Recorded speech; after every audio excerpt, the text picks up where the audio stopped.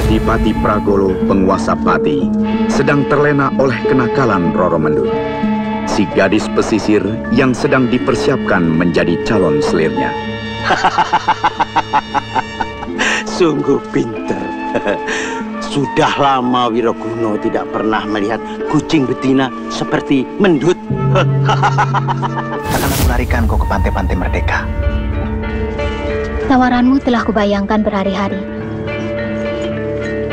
Tapi aku tak berhak membebankan nasibku padamu. Memalukan! Mengelacak seorang perempuan saja.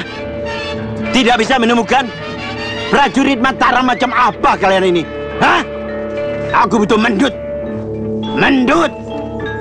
Mendut.